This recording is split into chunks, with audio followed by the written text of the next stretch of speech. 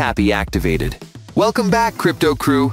We've talked a bit about optimistic rollups, but now it's time to meet the brains behind the operation. Let's load some data real quick. First off, we've got the sequencers.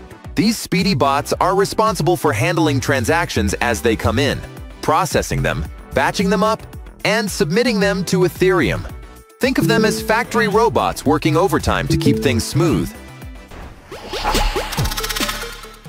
On the other side, there are the validators.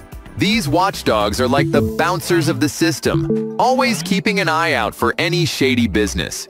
If something looks off in a transaction batch, validators will submit a fraud proof to challenge the suspicious activity.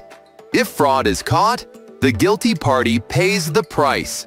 Together, sequencers and validators form the perfect team to keep optimistic rollups running smoothly, ensuring your transactions are fast, secure, and cost-effective.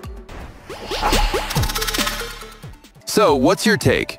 If you were designing the perfect roll-up team, what roles would you add? Drop your ideas in the comments. Tappy deactivated.